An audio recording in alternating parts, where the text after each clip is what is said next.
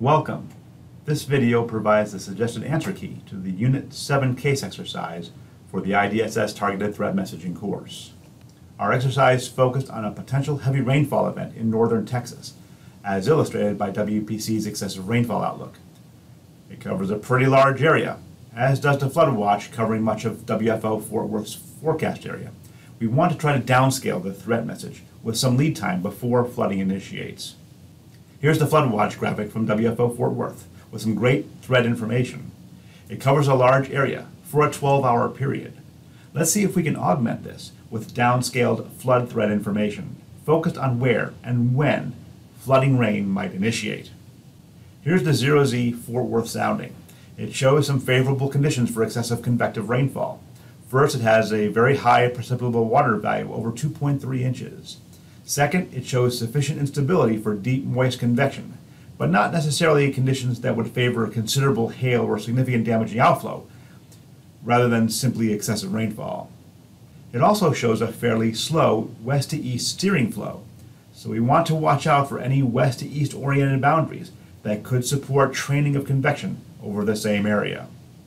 Satellite imagery through 1Z shows convection blowing up over northern Texas.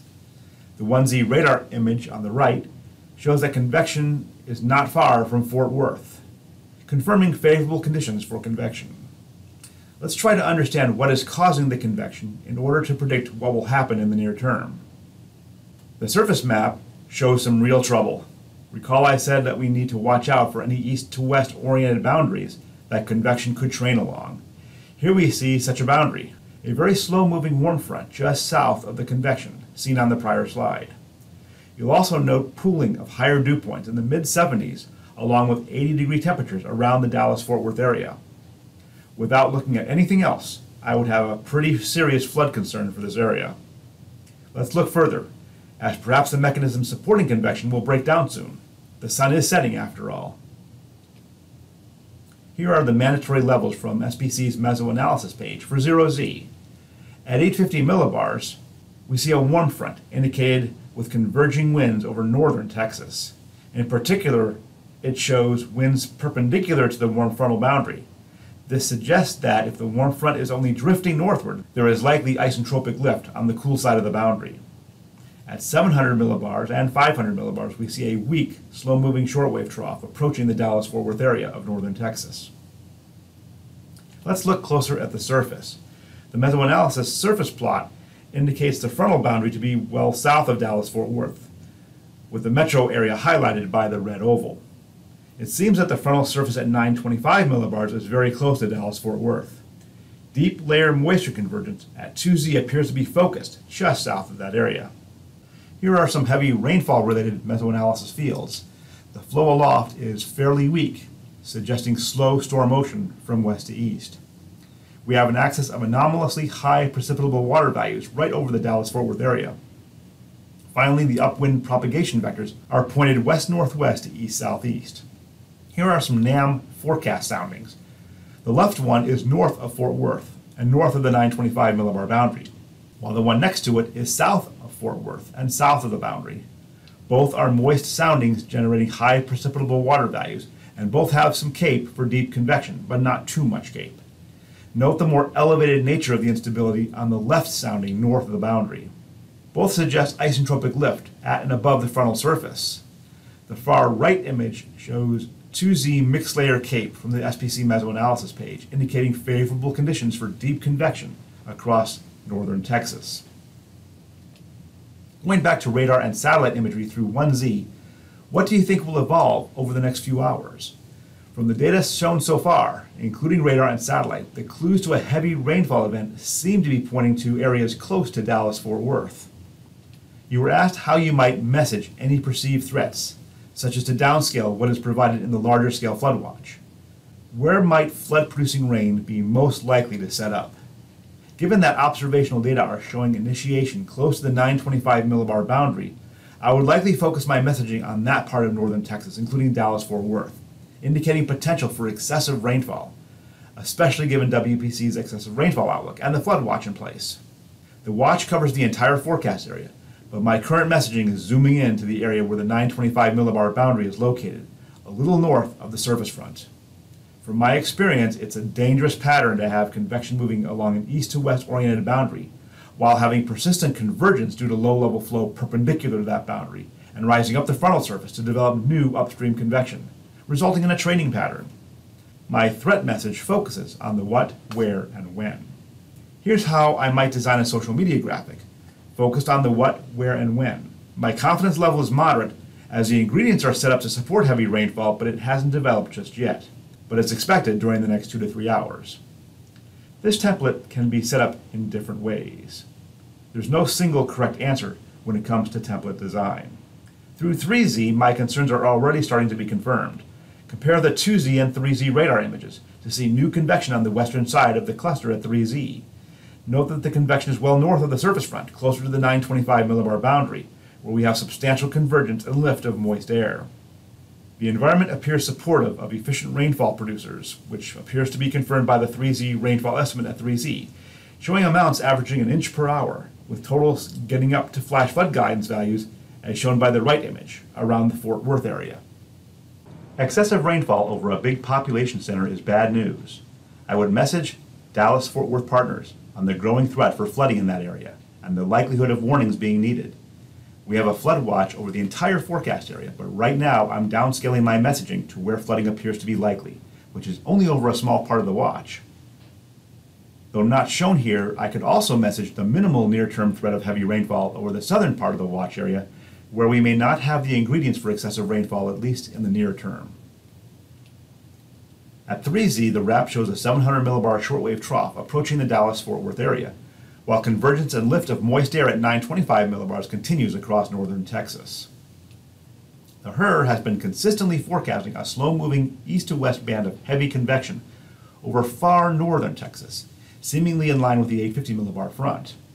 However, the 1Z HRRR run also shows convection further south around the Dallas-Fort Worth area, redeveloping over this area for several hours. Radar does not have much convection well north of Dallas, but it does over the Dallas-Fort Worth area. Despite the HRRR indicating heavy rainfall potential further north over the far northern counties of Texas, I'm not messaging that, given the lack of convection in that area on satellite and radar imagery. My focus continues to be the Dallas-Fort Worth area, given radar and satellite trends and the favorable environment for excessive rainfall. With rainfall reaching flash flood guidance values, a flash flood warning is issued by the Fort Worth office. So why isn't this sufficient downscale messaging for Fort Worth? The problem essentially boils down to lead time.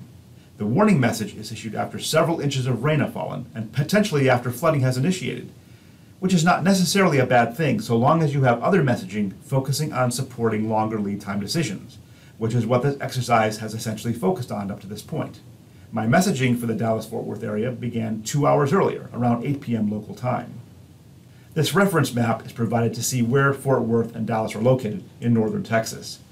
Currently, the heavy rainfall is occurring around the Fort Worth area, but our focus now starts turning to the Dallas area as the potential for heavy rainfall evolves eastward over time. By 3:30Z, we see a band of heavy rain setting up over the north side of Dallas. My message does not focus just on the continued flood event in Fort Worth, but also the likelihood of flooding initiating around the Dallas area. My social media graphic looks like this, with focus on continued heavy rainfall and initiation of flash flooding over my highlighted area, including the Dallas-Fort Worth area. My confidence is now high, given the latest radar trends. The main question remaining is how bad this event could get. During the next two hours, cores of heavy convective rainfall continue to slowly train over the Dallas area. My confidence in flooding in the Dallas area is increasing, and my messaging now reflects that.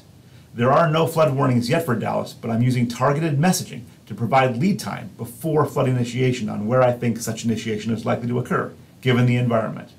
Radar trends indicate that a flash flood warning for Dallas and surrounding areas is very likely.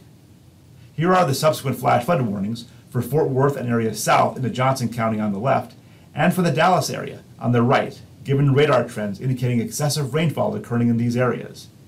These are based on excessive rainfall that has already been occurring and flooding likely initiating. My targeted messaging focused on lead time ahead of the event to support longer lead time decisions. Here we have MRMS radar estimated precipitation images for 6Z, with ovals highlighting the areas of excessive rainfall where the warnings are issued for. We have three hour estimates of four to six inches of rain around and south of Fort Worth and across the north side of Dallas, above flash flood guidance. The 6Z radar image on the right shows heavy rainfall tapering off around Fort Worth, but continuing over the Dallas area and areas to the east. Let's take a look at some NAM forecast soundings at 6Z and 9Z around the Dallas-Fort Worth area. For the north side, we see similar conditions favoring heavy rainfall, including deep moisture, high precipitable water values, sufficient instability, and weak storm steering flow. For the south side of Dallas-Fort Worth at 6Z and 9Z, somewhat stronger low-level winds compared to the north side of Dallas-Fort Worth, suggesting low-level convergence and lift. Here we see hourly satellite images through 6Z, showing continued redevelopment of convection on the western side of the cluster, highlighting the excessive rainfall event ongoing. Interestingly, we see another potential small-scale flood threat over West Texas, just south of the Panhandle, with indication of back-building convection over time. Heavy rainfall events can be quite small-scale at times, and can occur without a big storm system. Hourly radar images through 6Z highlight continued heavy rainfall south of Fort Worth as well as across the Dallas area, particularly the north side of Dallas and areas east of Dallas where the rain only seems to be getting heavier. Given the favorable environment and the radar trends showing heavy rain sitting over the Dallas-Fort Worth area, I would likely enhance the strength of my messaging at 630Z, focusing on a flood event ongoing and likely to worsen given continued heavy rainfall likely at least for a few more hours. Again, I focus on the what, where, and when, with messaging starting to focus on the upcoming morning rush hour, which will be impacted by the flooding. Given the seriousness of the situation, I would likely be directly calling emergency managers to provide information to support flash flood response. Such calls are another form of TTM.